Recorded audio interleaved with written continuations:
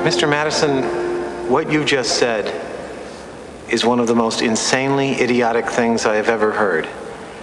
At no point in your rambling, incoherent response were you even close to anything that could be considered a rational thought.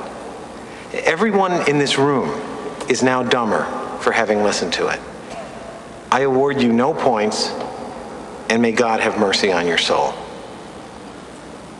Okay, a simple wrong would have done just fine, but uh, You remain one